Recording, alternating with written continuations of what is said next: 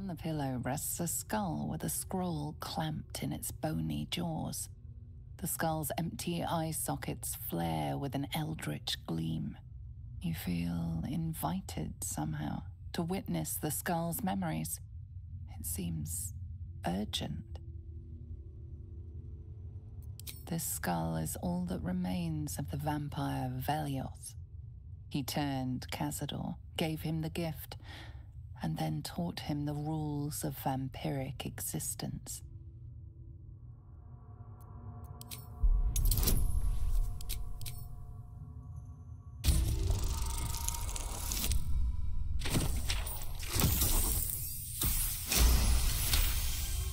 Vellioth's first lesson is always to dominate. Allow none to be your equal.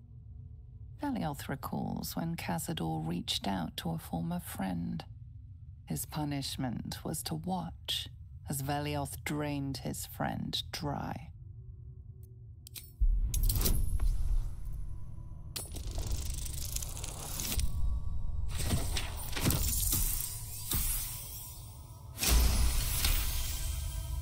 Vellioth's second lesson is that power comes from solitude. To share with others is to be weak, and to be weak is to fail and die. Vellioth recalls when Cazador rebelled against him. Cazador suffered 11 years of impalement because he failed.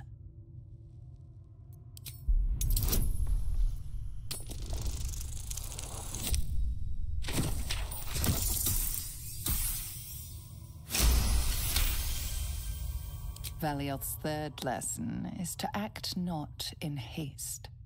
A near immortal has time to plan, time to act only when others will pay the price of action.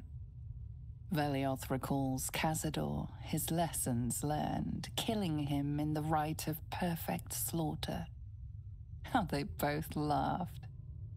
Velioth recalls Cazador boiling the flesh from his skull and then, to mock him, clamping his schooling scroll in Vellioth's jaws.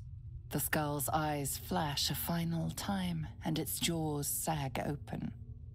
The scroll with all of Cazador's rituals is yours. Vellioth is no more.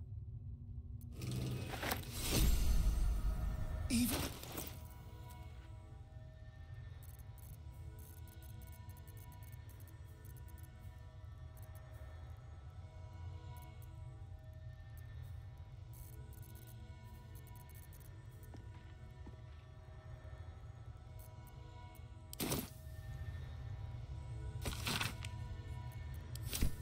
thousands of names. This couldn't be part of the ritual, could it?